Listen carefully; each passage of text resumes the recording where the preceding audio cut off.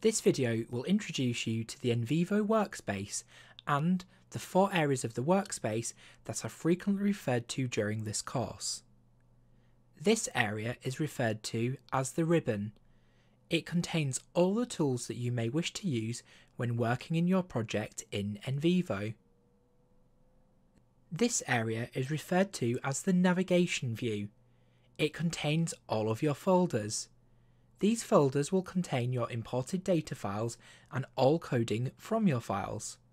When you click on a folder in Navigation View, the content is displayed on the right in List View.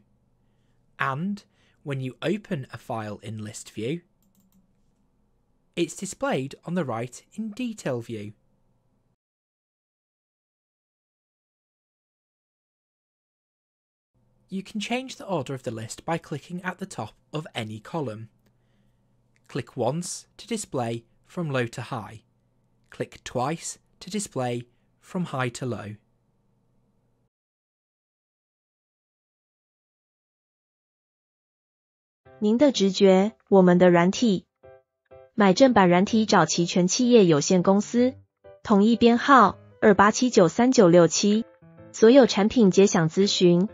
支援及保固，并可开立二联式或三联式发票。